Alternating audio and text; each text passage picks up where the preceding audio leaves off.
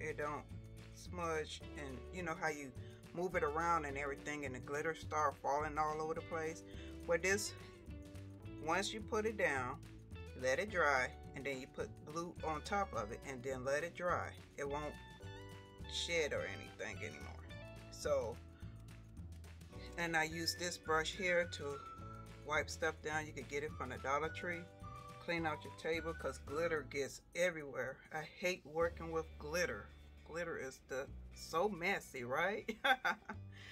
And what I did here was use some uh, bling bling that got uh, skulls for the Halloween. And I believe I bought that from Hobby Lobby a long time ago. And now the next step I'm going to put my image in here I'm not for sure do I want to add leave these eyeballs the way it is or put these beads here? Uh, we will see at the end. I might leave it like that but I'm not sure. Might want to pop out the 3D part add some eyeballs or maybe put some here on each end. Not for sure right now but I was thinking about using these that's one thing about crafting. You never know. You just go with the flow. So me and my granddaughter's having a good time.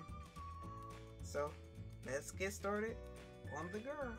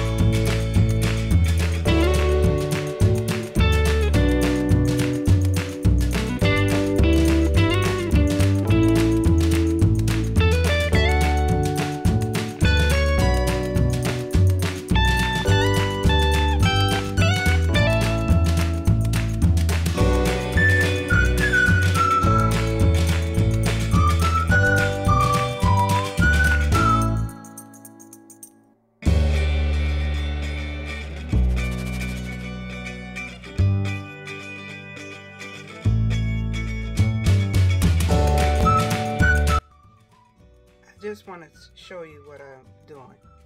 I just use some any kind of glue, glue. I um, put some glue on my eyelashes and put some glitter on it. Okay.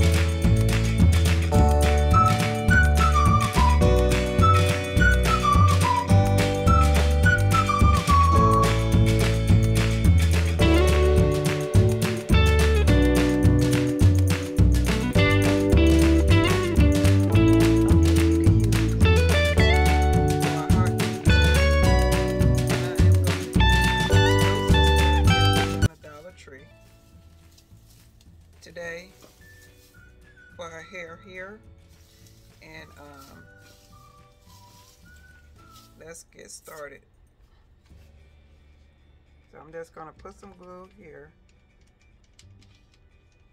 just random just put it anywhere you want to as long as you get it to lay down and be careful because this glue is hot now okay So we're gonna simply do that and take an end of this. Just lay it down. Like I said, be careful. Hot. Let the ghosts kind of come up like that. Let's go fast because the glue gun will dry fast now. Gonna take this off here. Put that there. Alright. So now it's all the ghosts is in her hair. Get my pair of scissors and cut the excess off. And then I'll show you the next step. Let me put some more glue right here and then I'll show you the next step. Alright. Now I have my granddaughter here. This is going to be her little wreath that she wanted to do. She's going to bring it to school. So that's what we working on. You saw her little hands earlier. She's still here. I'm just showing you a step to step as we go. All right, so next step we are going to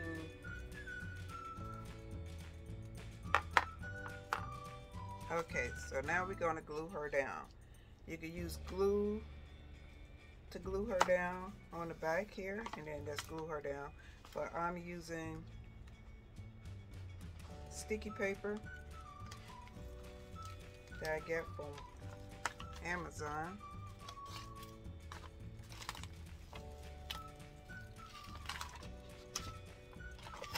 Sticky too. Ooh, got my my ghost is sticking to the paper. All right, bye-bye ghost. All right, so now we're gonna stick her down. Think I'm gonna have her neck more to the bottom. Yeah. Have her eyelash like it's coming out from there. She's coming out. Yeah, I think that's how I want her to be. Like she's floating into the tray. You can move her over as you want to. I just want it look like she's coming out of the tray. It's up to you. She's good to go. Just making sure. All right, and the next step I'm gonna be using here, let me get this out the way.